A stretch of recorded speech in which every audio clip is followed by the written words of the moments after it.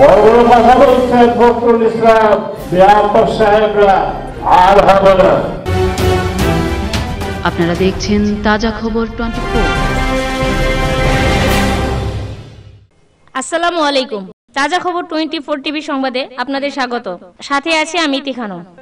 গৌরব ও সাফল্যের চল্লিশ বছরে পর্দাপণ উপলক্ষে রায়পুরা প্রেস ক্লাবের আয়োজনে দিনব্যাপী নানা কর্মসূচি পালিত হয়েছে। নরসিংদী রায়পুরায় গৌরব ও সাফল্যের চল্লিশ বছরে পর্দাপণ উপলক্ষে নরসিংদী ঐতিহ্যবাহী রায়পুরা প্রেস ক্লাবের আয়োজনে বুধবার দিনব্যাপী নানা কর্মসূচি পালিত হয়েছে।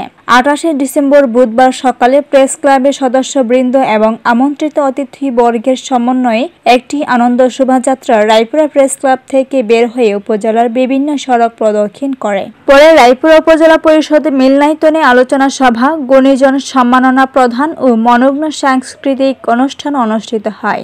রায়পুরা প্রেস ক্লাবের সভাপতি মোহাম্মদ মুস্তফা খানের সভাপতিত্বে অনুষ্ঠিত আলোচনা সভায় প্রধান অতিথি ছিলেন সাবেক মন্ত্রী রাজউদ্দিন আহমেদ, রাজু এমপি। অনুষ্ঠানে রায়পুরা প্রেস ক্লাবের নামে একটি ওয়েবসাইটের উদ্বোধন করেন প্রধান অতিথি। কেক কেটি অনুষ্ঠানে শুভ উদ্বোধন করেন বাংলা ভিশন টেলিভিশনের প্রধান সম্পাদক ও বাংলাদেশ প্রেস ইনস্টিটিউট পিআইবির সাবেক মহাপরিচালক ডক্টর আব্দুল হাই সিদ্দিক। এতে পৃষ্ঠপোষকতা প্রদান করেন রায়পুর উপজেলা নির্বাহী অফিসার এবং রায়পুরা প্রেস ক্লাবের প্রধান উপদেষ্টা মোহাম্মদ আজগর হোসেন, রায়পুরা থানা officer in charge Mohammad Azizur Rahman, বিশেষ অতিথি হিসেবে বক্তব্য রাখেন রায়পুরা পৌর মেয়র মোহাম্মদ জামাল মোল্লা রায়পুরা উপজেলা আওয়ামী লীগের সভাপতি ও প্রেস ক্লাবের প্রতিষ্ঠাতা সভাপতি বীর মুক্তিযোদ্ধা আফজাল হোসাইন। উপজেলা সহকারী কমিশনার ভূমি শফিকুল ইসলাম। নরসিংদী প্রেস ক্লাবের সাবেক সাধারণ সম্পাদক মাজহারুল পারভেজ মন্টি। রায়পুরা চেয়ারম্যান ফোরামের সভাপতি আল আমিন ভুইয়া মাসুদ। সাধারণ সম্পাদক রিয়াজ মোর্শেদ খানের রাসেল। শিবপুর প্রেস ক্লাবের সভাপতি এস এম খোরশেদ আলম সহ আরও অনেকে উপস্থিত ছিলেন। পরে গুণীজন সম্মাননা প্রধান অনুষ্ঠানে রায়পুরা প্রেস ক্লাবের প্রতিষ্ঠা লগ্ন থেকে এযাবৎকাল পর্যন্ত বিভিন্ন মেয়াদে দায়িত্ব পালনকারী সভাপতি ও সাধারণ সম্পাদকদেরকে ক্রেস্ট দিয়ে সম্মাননায় ভূষিত করা হয়।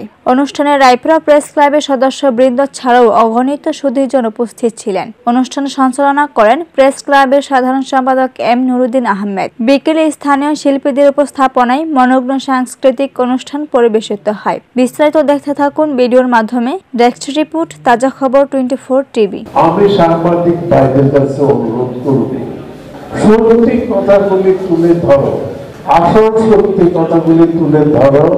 সমাজের একটা পরিবর্তন অনেক জেনারেল বড় বড় কথা বলেন পরবর্তীকালে। এবং আমার জার্নালিস্টরাও, আমার সমাজ সেবিরের সুশীল সমাজ, তারা বললেন জিয়া রহমান স্বাধীনতার ঘোষণা দিয়েছেন আমরা এত বছর রাজনীতি করলাম, আন্দোলন করলাম রাজপথ কাঁপিয়ে তুললাম। জিয়া রহমানের নাম কোনোদিন শুনি নাই। শুনলাম কবে? মার্চ মাসে একাত্তরে। আমি মেজর জিয়া বলছি কে জিয়া? কোথাকার জিয়া? সে গিয়েছিল যুদ্ধের সময়।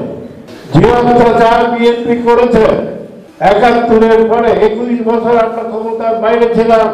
একুশ বছর আমরা কর্মীদের উপর নির্যাতন চালিয়েছে। দুই হাজার একে নির্যাতন চালিয়েছে।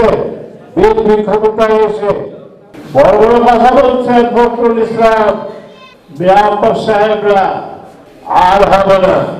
যথেষ্ট করেছেন রায়পুরা বিএনপির লোকেরা বলে যে আমরা মায়ের পেটে আছি। আমরা কোনো অত্যাচার করি নেই। আমি প্রতিহিংসা রাজনীতি করি না।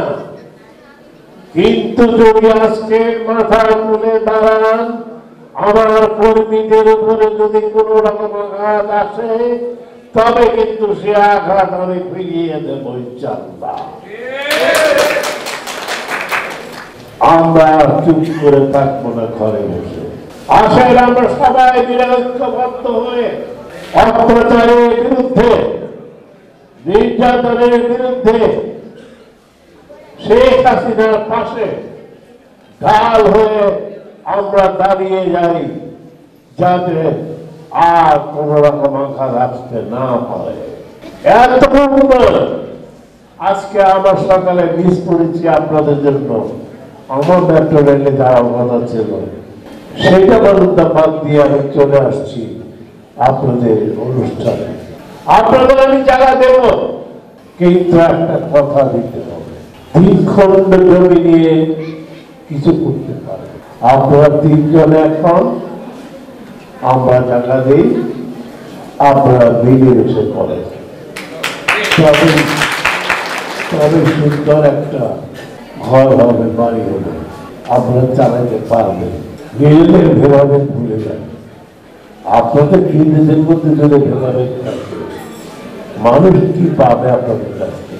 একই জায়গায় আসেন উন্নয়ন করেন যত সাহায্য সহযোগিতা প্রয়োজন, প্রশাসন, আমরা আপনাদের করব, আপনাদের পাশে আসি ছিলাম আসি থাকব। সবাইকে ধন্যবাদ জানিয়ে আমি আমার বক্তব্য এখানে শেষ করছি। খুদা জয় বাংলা। আফজাল হোসেন ভাইয়ের শ্রীরামপুরের বাসভবনে আনুষ্ঠানিকভাবে প্রতিষ্ঠা আমরা করেছিলাম রায়পুরা প্রেস ক্লাবে। আজকে অস্থায়ী একটি স্থান হয়েছে, হয়তো কিছুক্ষণ পরে আমরা এ ব্যাপারে হয়তো বিস্তারিত শুনব।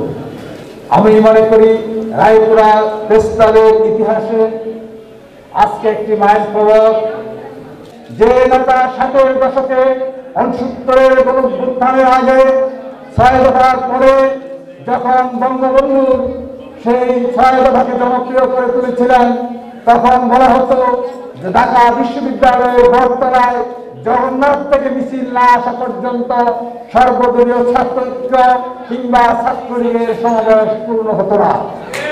এবং রায়পুরা প্রেস ক্লাব ঐক্যবদ্ধ প্ল্যাটফর্মের মাধ্যমে তার ঐতিহ্য ধরে রাখবে সেই প্রত্যাশা রেখে আমি আমার বক্তব্য শেষ করছি।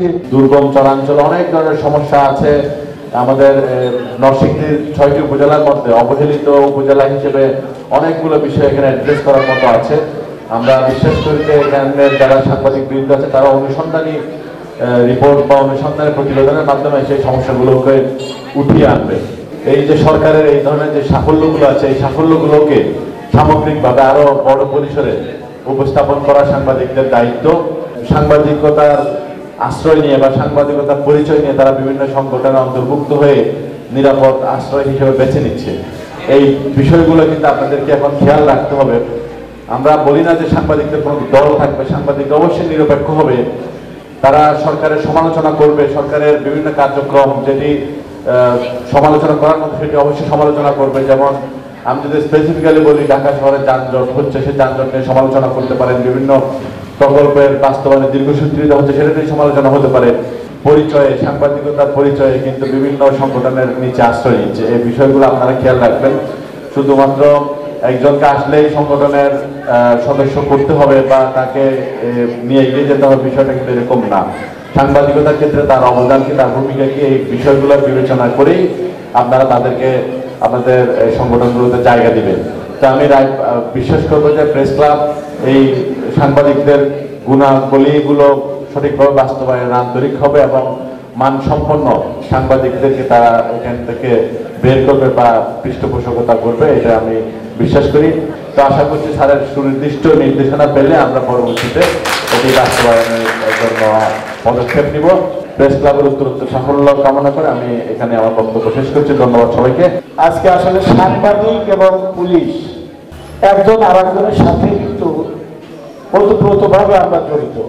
কারণ আপনি যাই বলেন, পুলিশ সাংবাদিক যদি কাঁধে কাঁধ মিলিয়ে কাজ না করা যায়, সব জায়গায় আপনি দেখবেন যে আসলে গ্যাপ থেকে যায়।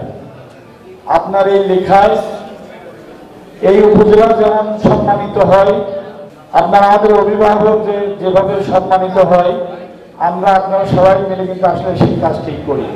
আপনারা, আপনাদের কাছে আমি একটি অনুরোধ করব, আপনারা যেন এই রায় রায়পুরা হিসাবে আপনারা যখন ঢাকা বা অন্যান্য জায়গায় পরিচয় দেন, তখন রায় রায়পুরা হিসাবে কিন্তু একটি কথাই তুলে ধরে সবাই।